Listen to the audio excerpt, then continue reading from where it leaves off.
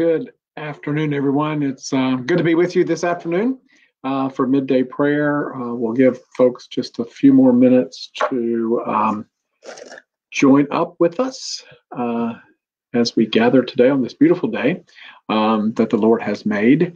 Uh, that we can rejoice. Um, I see that uh, folks are wel- are joining in. And if you have any prayer requests, uh, if you put those in the comments, I'll be glad to, particularly if there's anybody in particular that you would like for us to pray for. I am uh, happy to put those in as I am able. So um, we're going to start our time together as uh, we do many days by centering ourselves to hear God's word. So we breathe in the breath of God and we breathe out our cares and our concerns. And we breathe in the love of God. And we breathe out our doubts and our despairs. And we breathe in the life of God. And we breathe out our doubt, uh, our fears, and our frustrations. For our passage today, I'm going to be reading from the Gospel of John, the 10th chapter, starting at the 11th verse. Uh, we hear bits and pieces of this uh, on Good Shepherd Sunday. Um, we, we, celebrate in the church year, typically in the Easter season. Uh, so, starting at verse 11, Jesus says, I am the good shepherd. The good shepherd lays down his life for the sheep. The hired hand, who is not the shepherd and does not own the sheep, sees the wolf coming and the le- and leaves the sheep and runs away. And the wolf snatches them and scatters them. The hired hand runs away because the hired hand does not care for the sheep. I am the good shepherd. I know my own, and my own know me, just as the Father knows me, and I know the Father. And I lay down my life for the sheep. I have other sheep that do not belong to this fold.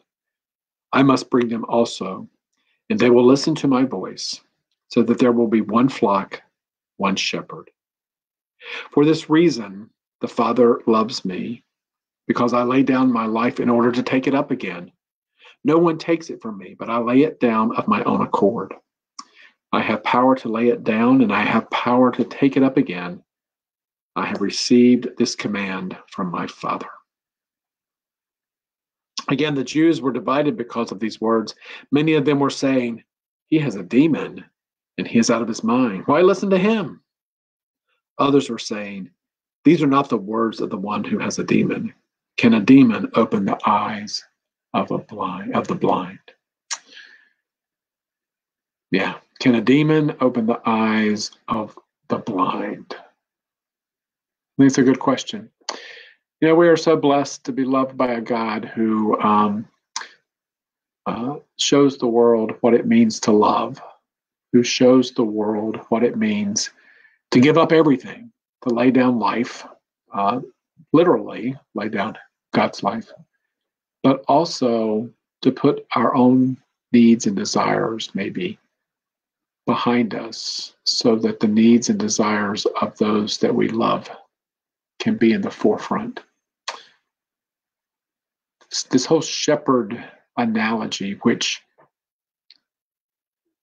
we always, I think, hear as a good thing, as a comforting thing, as a peaceful thing. In the original context, would have been very strange that God would be compared to a shepherd simply because shepherds were not uh, royalty, they were not priestly, they were not um, high in the hierarchy of society. They were lowly workers who hung around, lived with literally the sheep. And yet, they guarded the life of that herd. And these words that Jesus gives us today talks about not only laying down life, but about building and establishing a relationship um, between God and God's sheep. Uh, and as we are sheep, um, we are given that relationship. We are blessed through that relationship. We are reminded of that relationship every time we gather together. For when two or three are gathered in Jesus' name, Jesus shows up. Our good shepherd shows up. And in this time of division, in this time of anxiety, in this time of um, of turmoil, I hope that this knowledge that Jesus is with us, and through Jesus, that means that God is with us, being our shepherd, guiding us, and letting us see maybe just glimpses of what it means to be one as God and Jesus are one got uh, music for us to listen to. It's a beautiful, beautiful setting uh, of a song from a favorite praise band from Trinity Camp Hill in, in um, Pennsylvania. So uh, enjoy that music as we ponder what it means to be one of God's sheep. Um, so here we go. God bless.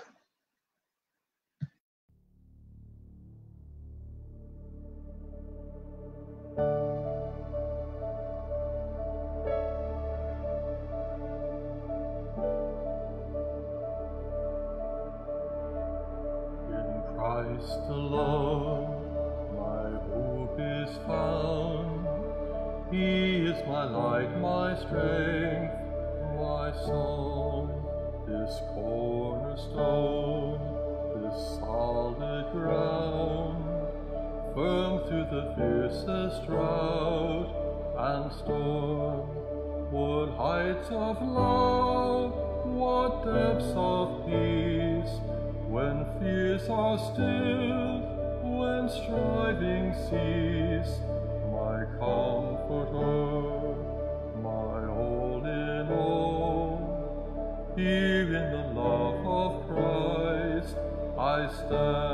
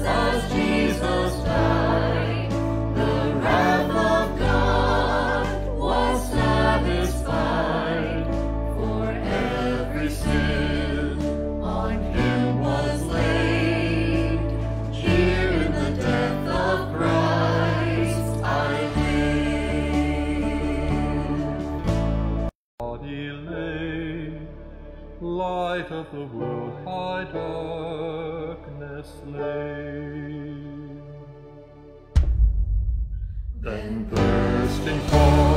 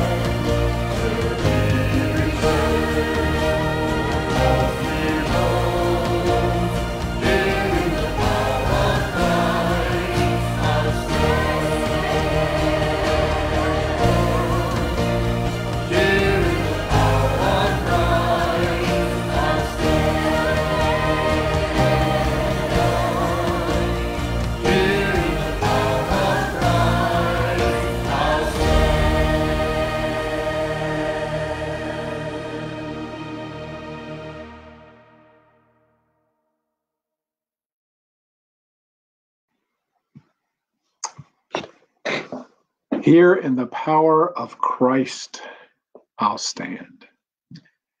What a blessing. Um, I am I'm so happy to be able to share um, the witness that comes from FaithX, uh, the band at Trinity Camp Hill. So um, God bless us as we now gather together to pray. oh Christ, our good shepherd, we give you thanks for your abiding presence with us, for the way that you uh, work in, with, and through us to do God's work, to bring us together, to make us one, just as you and God are one. we ask, God, that you be with our nation, that you be with those who are facing yet another hurricane, those who are being surrounded by wildfire, those even who are being hammered by snowstorms. Be with those who are offering aid and help and rescue. We look forward to that time when these disasters will be over. And our Good Shepherd, we ask that you be with those who are suffering in body, body mind, or spirit. Specifically, we ask your healing presence to be with Shafiq Shahuri, Razine Shahuri, Susan Harris, Margaret Folcomer, Shelley McLaughlin, Laura Dareth, Terry, Ben Lehman, Sally, Howard Fales, Rebecca Neal, Jeff, Jack Overton, Glenn Hardesty, Kim Brady, Carol Brzezinski, Betty Crandall, Connie Koss, Charles McCarthy, Susan Bethke, Caroline Marshall, McKenna Day, Thelma James, Esther Mearson, Barbara Dareth, Debbie Moss, and those that we name aloud or silently in our hearts at this time. Steve, Pastor Kelly, Pastor Jody, Pastor Earl, and Lori.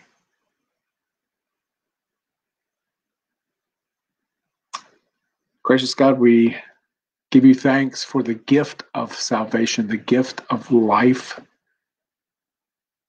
that you have granted to us simply because Jesus did not stay dead. He rose from that grave, burst out into the world to show the world that your love can conquer even death. And I ask God that that love console Sally Seen and her family as they grieve the death of her mother, Chella Lewis. That it also console that growing number of family members who have lost folks dear to dear, dear to them to the coronavirus. We look forward to that day when the virus is under control, when there's a vaccine that will help us fight it and help us live with it and through it. And now, God, we join together. We pray the words that our Lord Jesus taught us Our Father who art in heaven, hallowed be thy name. Thy kingdom come, thy will be done on earth as it is in heaven. Give us this day our daily bread. Forgive us our sins as we forgive those who sin against us. Save us from the time of trial and deliver us from evil. For the kingdom, the power, and the glory are yours now and forever. Amen. And now we breathe in the breath of God. And we breathe out our tension and our turmoil. We breathe in the love of God. And we breathe out our haste and apprehension. We breathe in the life of God. And we breathe out our work and our worry. And now the Lord bless you and keep you. The Lord's face shine on you with grace and mercy. The Lord look upon you with favor and give you peace in the name of the Father and of the Son and of the Holy Spirit, today and always. See you tomorrow. God bless.